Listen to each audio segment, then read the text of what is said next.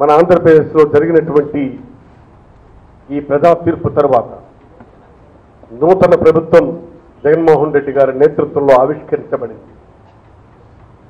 నాకు తెలిసి నేను సభాపతిగా కాదు శాసనసభ సభ్యుడిగా మా నాన్నగారు ఒక త్రీ ఫోర్ టైమ్స్ ఎమ్మెల్యేగా చేశారు. For me this is sixth time ప్రజలు మాకు గౌరవించారు ఆశీర్వదించారు గెలిచాము శాసనసభలో జరుగుతున్నటువంటి ప్రొసీజర్స్ కానీ రూల్స్ అండ్ రెగ్యులేషన్స్ కానీ బిల్స్ కానీ అంటే ఇనీషియల్ స్టేజ్లో తెలుగుదేశం పార్టీ ఇనీషియల్ స్టేజ్లో చర్చలు జరిగేవి ఆయన ఒప్పుకునేవారు కాదు. అర్ధరాత్రైనా జరగనివ్వండి అనేవారు. గెలిచానికి అంగీకరించిన రామారావు గారు.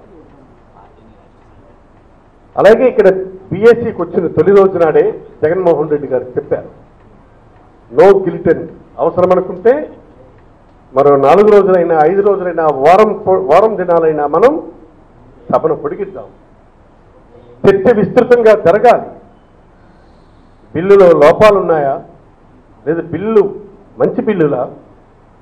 ఇవి ఏ సెక్షన్ ఆఫ్ పీపుల్కి టార్గెట్ గ్రూప్స్ ఇప్పుడు సపోజ్ రైతుల కోసం విద్యార్థుల కోసం స్టూడెంట్స్ కోసం ఎడ్యుకేషన్ ఇవన్నీ కొన్ని గ్రూప్స్కి సంబ అంటే ఆ జనంలో ఉన్నటువంటి కొన్ని వర్గాలకి అందించాల్సినటువంటి బిల్లు తాలూకా ప్రయోజనాలు. అవి సంపూర్ణంగా తెచ్చి జరగాలి అన్నటువంటిదే ఈరోజు సభానాయకుడిగా వారి ఆలోచనలు చెప్పారు. చాలా మంచి అభిప్రాయం సార్.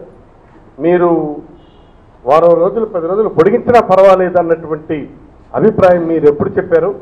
మేము కూడా చాలా స్పష్టంగా ఆ విధంగానే వెళ్తామని చెప్పాము సరే శాసనసభ నిర్వహణలో ఉంటుంటాయి. అటు ఇటు రెండు ఉంటాయి.